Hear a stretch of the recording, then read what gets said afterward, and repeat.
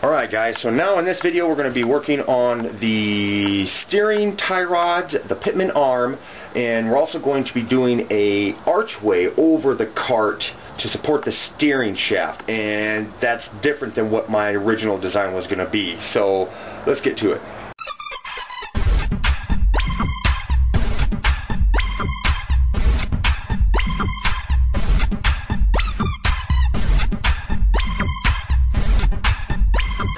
Okay, now the original idea was the cart was going to have an arch or have a support that was going to come up in the middle of the cart and then arc over and then the steering wheel was going to be supported by that.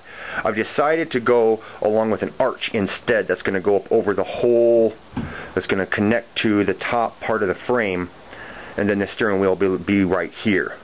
I've decided to do that. This is uh, I just went in and changed the plans to this thing instead.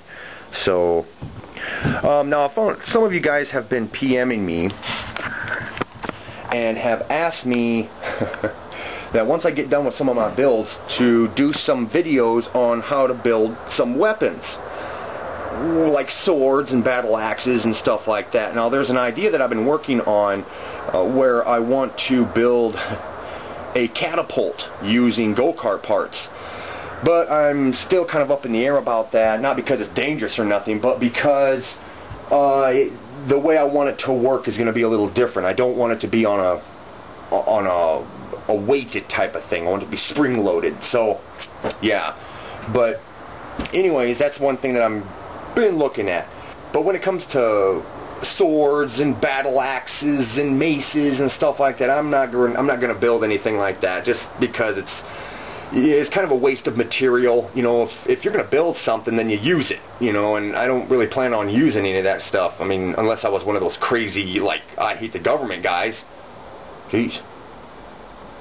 Yeah, that'd be a little weird. Could you imagine if I was one of those crazy government guys who actually just, like, you know, talked about conspiracies and stuff like that? Huh.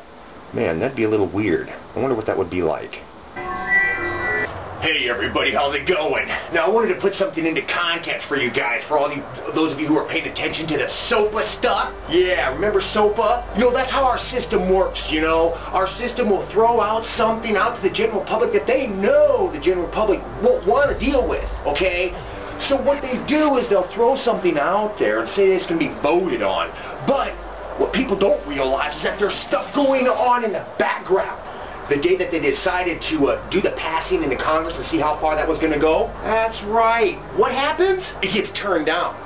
The powers that be knew it was going to be turned down. So what was actually the primary reason behind what was happening on that day? Anybody know? I know I don't. Can tell you one thing. I do know that that's how the system works. They'll throw something out into the public arena. People will start paying attention to it. And then later on, while the public is paying attention to that, they're sneaking crap into legislation in the background.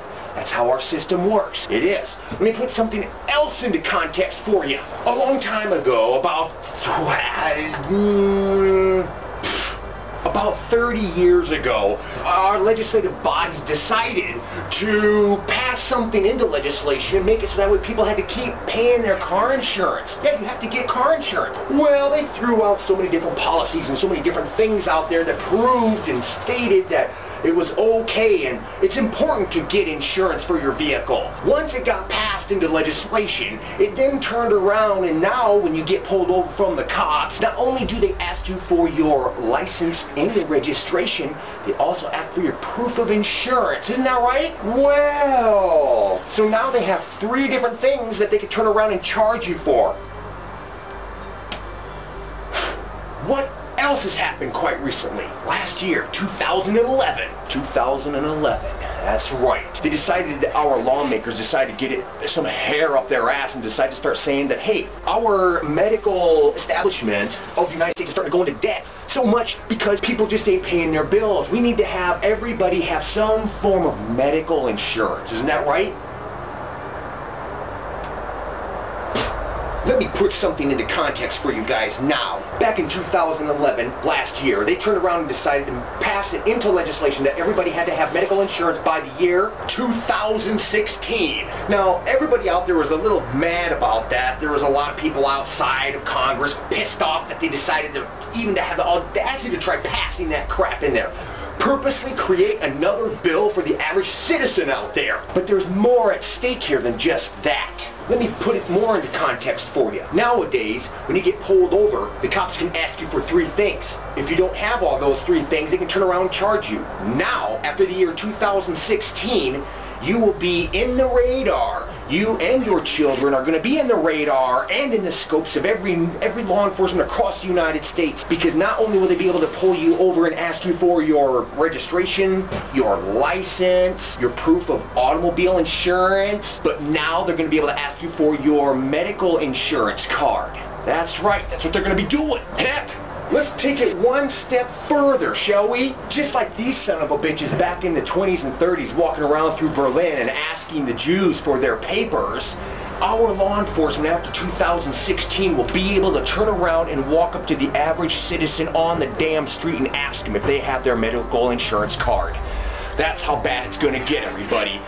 But no, most people out there don't quite realize it's gonna get that bad. But by that time, 2016, the laws were passed in 2011. Too much time, five years, to be able to pass through, where those policies and those laws are going to be able to seep into every facet of our legal system. That's what's going to happen, which means that these bitch-ass cops are going to be able to walk up to you on the street and ask you for your medical insurance card. Anybody, anybody and everybody across the United States is now going to be perpetually a criminal until they prove themselves to be innocent. What a crock of shit.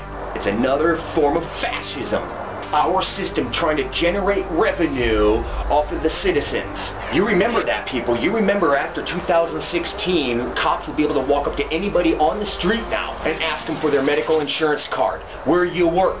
Do you have medical insurance through where you work? They'll be able to ask you all those kind of questions just like how the Nazis used to do back in Berlin. You remember me saying that to you people because it's gonna happen. Mm, yeah, that would be a little weird, wouldn't it? but I don't think I'd uh, really have too much important things to say to people. So I'm just going to kind of stay away from the weapons kind of thing. But uh, anyways, yeah, like I said, the catapult thing is an idea that I'm having. So, so if you ever see anybody else out there coming up with the idea, you know that they've been watching my videos. okay, so let's get back to it.